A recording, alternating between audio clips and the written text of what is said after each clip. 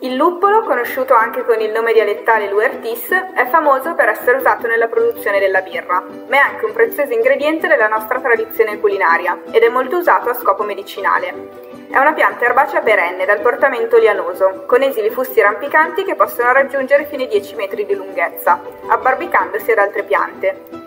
Le foglie sono coriformi, con 3 o 5 lobi seghettati. La fioritura invece avviene in estate, ed essendo una specie di oica, i fiori maschili e femminili sono portati da piante diverse. I primi sono disposti in infiorescenza pannocchia, mentre i fiori femminili in brevi infiorescenze a forma di cono.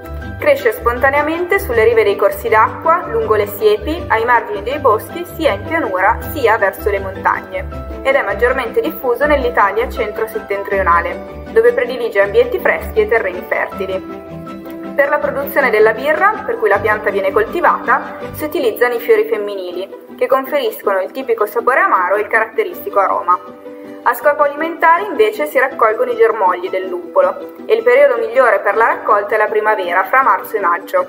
Hanno un sapore leggermente amarognolo ma delicato e vengono impiegati un po' come gli asparagi selvatici.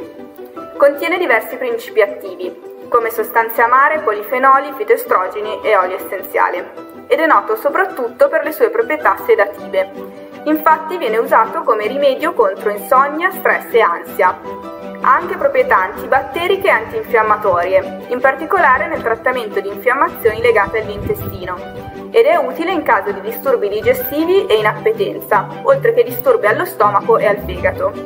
Fa rapporti benefici anche alla pelle ed è in grado di attenuare i disturbi della menopausa.